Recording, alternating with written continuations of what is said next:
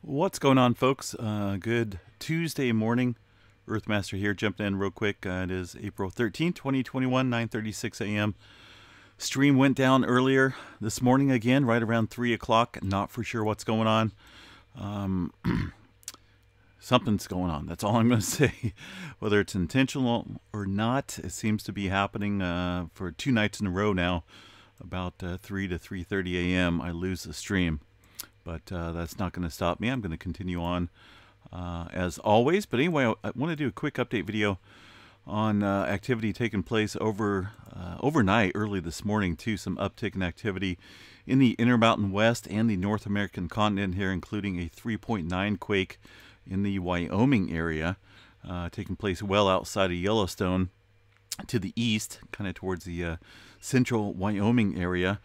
Uh, this 3.9 struck uh, near Ten Sleep, Wyoming. Never heard of that place. Quite a few folks reported feeling this earthquake that occurred at about 13.7 kilometers below the surface. And um, just looking at some of the It reports here shows the responses from uh, a few people out there around Ten Sleep. Looks like Casey uh, and Casper, Wyoming as well reported feeling that earthquake uh, early this morning. Now, this earthquake did show up pretty significantly on the Yellowstone seismograph stations here. This is the overview of uh, Yellowstone National Park, of course, um, where, where it's been relatively quiet. We haven't seen any swarming in recent times, but of course, it kind of always makes me a little nervous when we see uh, some further activity around the region. This 3.9, not a big earthquake, but definitely showing up pretty significantly on the eastern side of the park, but over here to the west, you can still see that uh, signature of that 3.9, just not as strongly as, uh, for example, this specific station there in the eastern part of the park. So kind of watching it. Um, there hasn't been really too much activity after that 3.9 in this region. And far as earthquake uh, um, aftershocks, we'll go ahead and check that out real quick in this region. I don't see uh, any aftershocks there following that 3.9, um, at least according to the USGS. So took place around the Bighorn Mountains, just to the west here of the of the uh, start of it here. Old Creek Mountain, Owl Creek Mountains, I should say, in the uh, Bighorn mountain range, kind of seeing that uh, where that 3.9 struck. This comes after uh, well, heightened earthquake activity compared to yesterday. Here in the North American continent, we've seen a pretty good uptick in activity in Nevada and also into Idaho as well. Uh, return of some pretty good size uh, swarming. Well, I shouldn't say swarming. This is all pretty much aftershock activity from uh, last year's event. Was it last year now? When they had that uh, uh, six pointer up there? Any, either way, uh, we're seeing a little uptick in the uh, magnitude department and also the multitude of quakes taking place here along the saw Sawtooth Fault System. That's going to be this little uh, sectional fault that stretches here towards the Smoky Mountains area.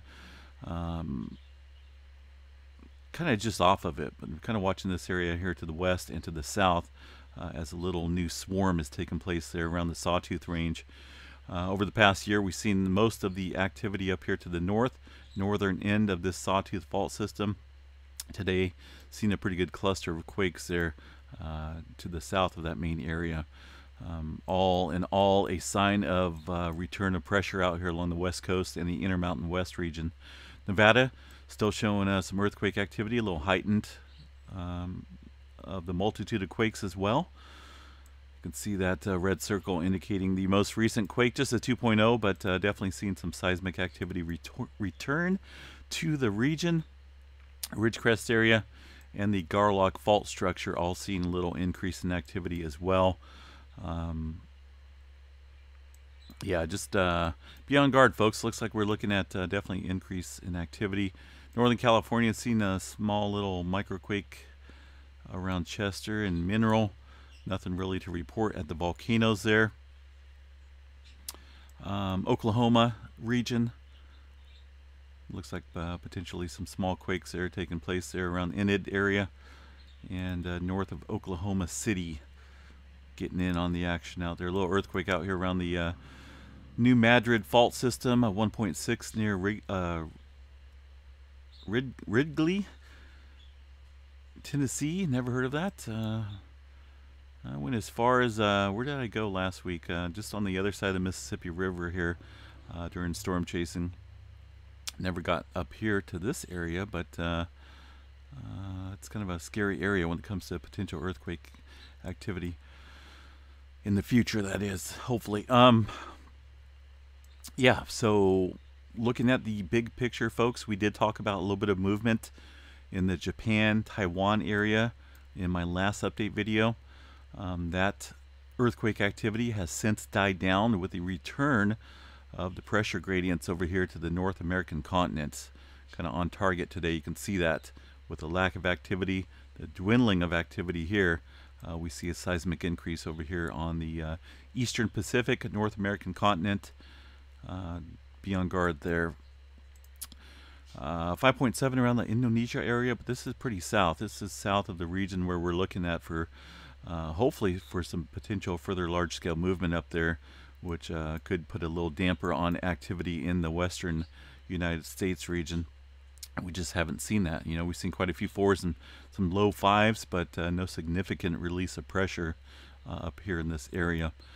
Down here to the south Fiji, 5.2 little earthquake there north of uh, uh, North Island, New Zealand, pretty deep there along the uh, hopefully not too close to the Hikurangi subduction zone here. This area we've talked about quite a bit in the past. Uh, this 4.3 striking well inland at 268 kilometers below surface. Uh, the rest of the globe pretty quiet, folks. Uh, not a whole lot going on. Uh, as I mentioned, that little earthquake shaking things up in the Wyoming area. waiting to see if this is going to trigger any type of swarming. I just don't see it at the moment. Uh, tremor map from last night. I don't think that's uh, been updated today. This is from last night right here. Uh, still shows that movement uh, into the uh, southern portions of the Cascadia subduction zone uh, inland along the Juan de Fuca plate, North American plate over here. just kind of ramping up again. We'll see what it looks like later on. So be on guard, folks as I mentioned, uptick and increase in pressure with this bounce back, for, uh, bounce back effect, I should say. Uh, as we look at dwindling quieting activity here to the west, obvious increase in pressure here to the east. That's a uh, that's a given, and it's very true today. So stay on guard, be alert for further movement out here along the western coast. We'll be back a little bit later, folks. Anyway, live stream is back up and running. Um, whenever it goes down, I'm it's coming back up. It's not going to stop me. You know, somebody's going to pull the plug on my either my internet or I, I, don't know what's going on exactly for it to happen like that. But uh, you know, three o'clock, three thirty in the morning now, two days in a row, two nights in a row, is a little bit out of the ordinary. So hopefully that stops, or else uh, I'll be having to make a call to my uh, ISP and find out what is going on there. All right, guys, have a good day. We will chat at you a little bit later. Stay safe.